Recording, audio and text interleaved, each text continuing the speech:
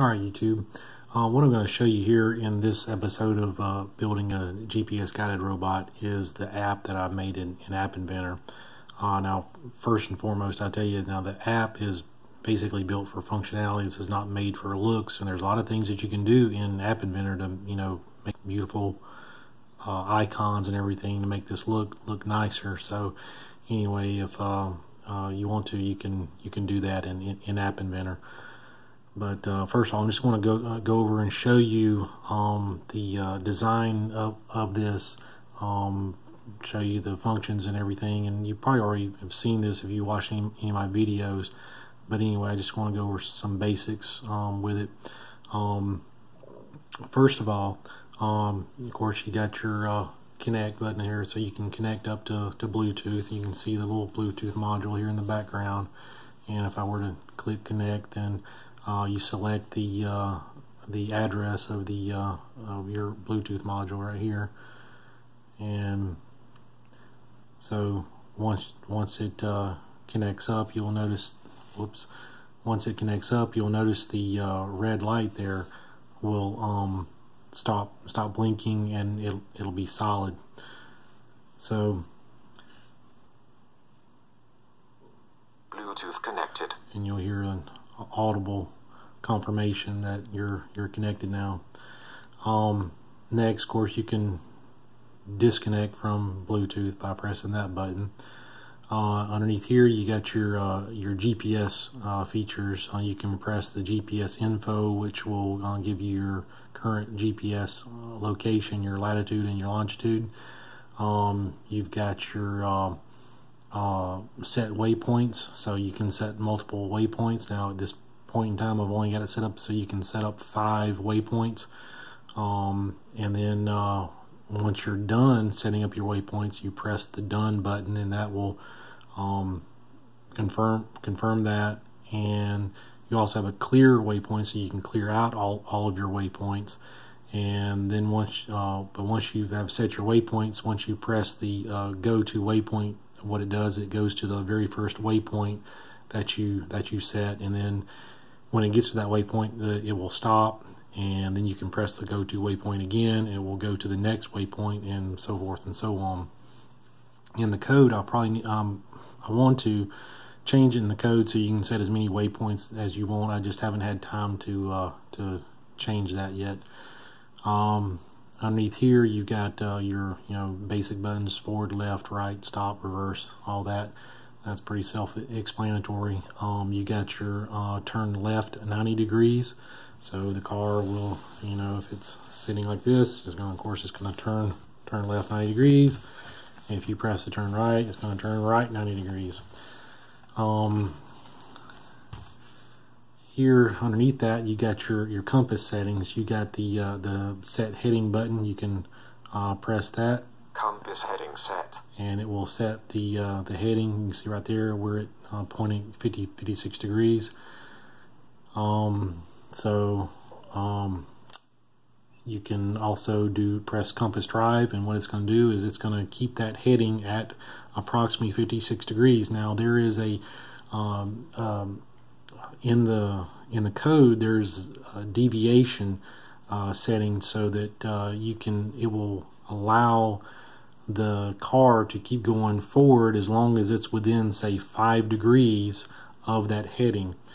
Um, you can change that number but the problem you don't want to set it too low because what will happen if you set that number too low uh, when it's say it's driving forward and it uh, of course eventually it's going to get off course slightly because the wheels uh, some wheel one of the wheels might be turning faster than the other so it's gonna gonna want to get off course somewhat. And so if you set that that uh, that deviation too low, what's gonna what's gonna happen is is because your compass is trying to keep that heading, it's gonna it's gonna kind of want to jitter back and forth, uh, trying to find that that heading. So say if you set it exactly 180 degrees and you don't you don't get it, uh, you only give it two degrees deviation, uh, what's going to happen is it's going to try to maneuver back and forth and keep that 180 degrees and what's going to happen is the the robot is going to be moving back and forth so quickly it'll never be able to be able to keep that. And it'll just spend all of its time just wiggling back and forth and not actually um, traveling any forward. So you got to give it some amount of deviation from the course. So what'll happen is the car will will go go forward uh, for a period of time and eventually you'll see okay I'm five degrees off and it'll correct and it'll keep on going at that at that 180 degree course or whatever course it is that, that you set it at and so um, let's see here.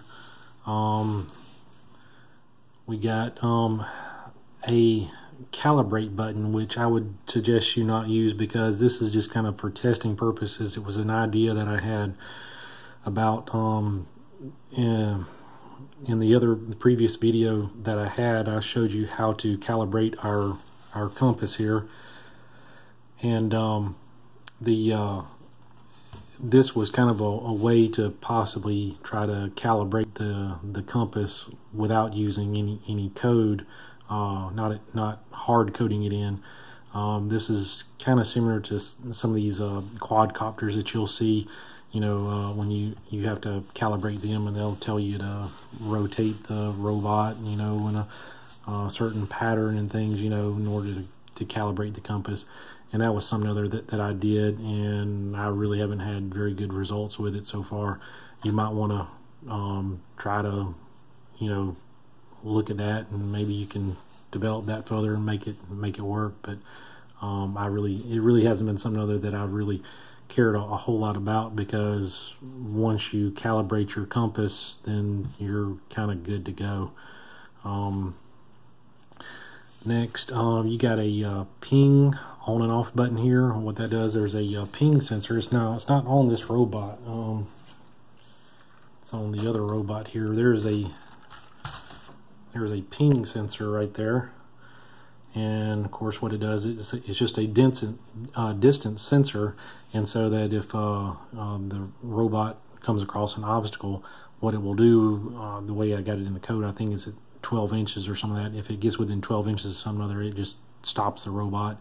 I think it actually sends it in uh, reverse for a, uh, uh, you know, a half of a second or something like that uh, to uh, avoid um, hitting anything. So, but the ping sensor, I really haven't um, developed that any. So uh, that's another one of those will test test things out. So between the the calibrate and the ping, those are two areas of the code that I really would say, say you're just more for testing purposes and just for fun at, at, this point and you can you can look at that and and develop that and if you if you like. Um uh, let's see what else here. Um if you got a um a turn speed um now this is kind of important here.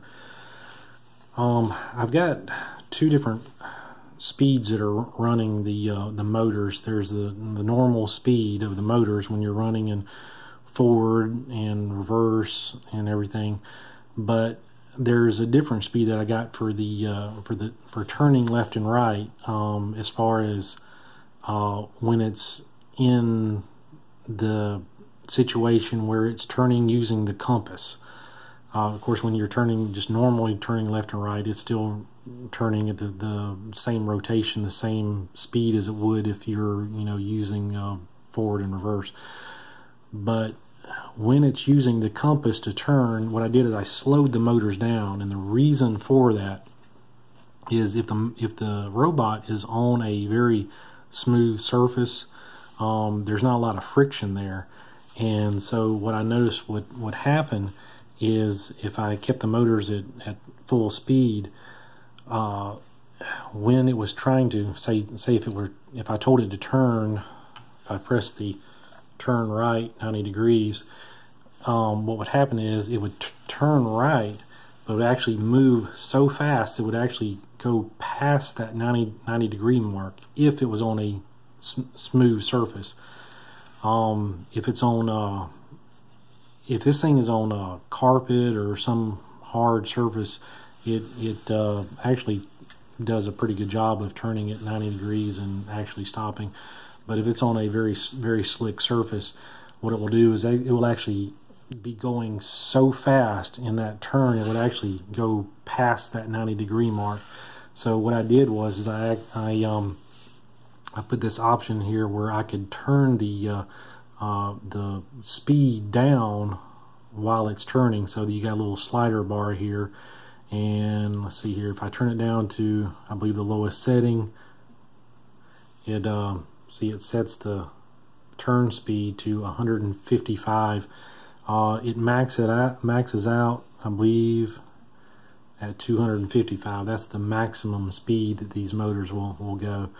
Um, if uh, I, there was a reason why I made it 100 and uh, 155 was because if you turn this down so low, if you turn if you um, set the speed on these motors too low, uh, they wouldn't even have enough uh, voltage to be really be even able to turn at all. So that's why it's at it's at 155. Um, so anyway, that's the uh, that's most of the app there. And what I'll do is I will uh, go over to App Inventor and show you how to uh, download this, uh, this this program here, this app. And uh, but one thing that you'll need is um, a um, program, MIT App Inventor program uh, app that you can get. You can download it from the uh, from the App Store. It's it's free, doesn't cost anything. This is basically what what it looks like. And um, what you do is you um, you can once you go to the have the uh, go to the uh, uh, store there. I say it's not a store. Um, once you go to the um, App Inventor website, what you can do is you can press the uh, um, you can have the program build and it, you can scan scan a code. Uh, what you do is you can see it just kind of brings up your camera on your phone and it brings up a, uh, a barcode on your computer and it'll scan that barcode and it will automatically download the file uh, to you. So anyway, I'll, I'll kind of go ahead and show you that here in just a second.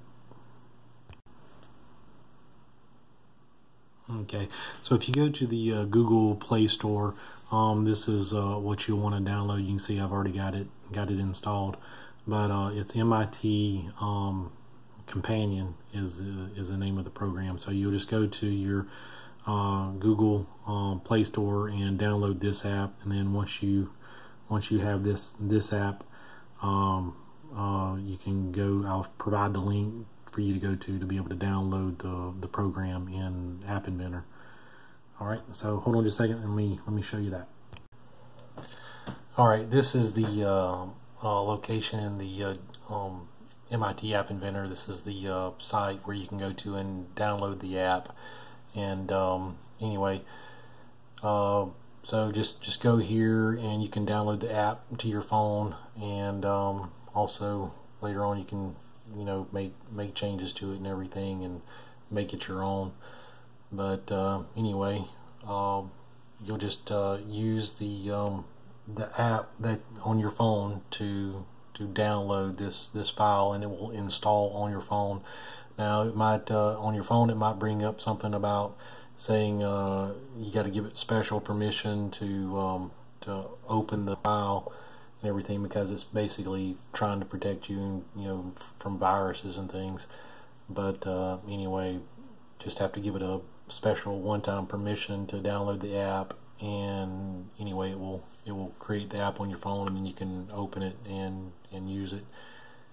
And um, so anyway um, I think that's gonna about wrap it up for this video.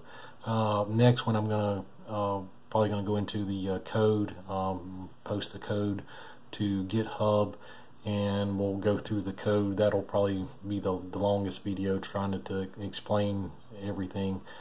But um, anyway, we'll uh, try to get on that as quickly as possible because I'm trying to get to uh, get get through with this and try to get it get it out there for for everyone. At the same time, I'm also um, creating an, an, instructable. So anyway, so everyone can uh, be able to. Um, so everyone can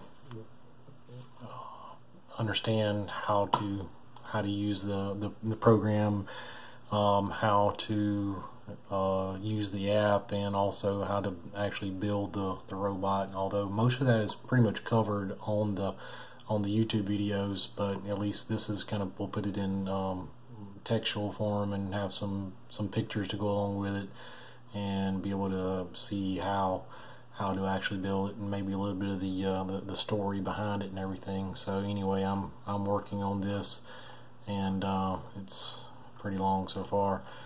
But um, anyway, I'm slowly slowly building this uh, this instructable here, and hopefully hopefully sometime maybe the next uh, few days, maybe next seven days, I'm hoping at the most is go ahead and get this get this published and wrapped up and go ahead and put it out there for for everyone. So anyway, just just stay tuned, and we'll try to get on that as quickly as possible. Thanks for watching.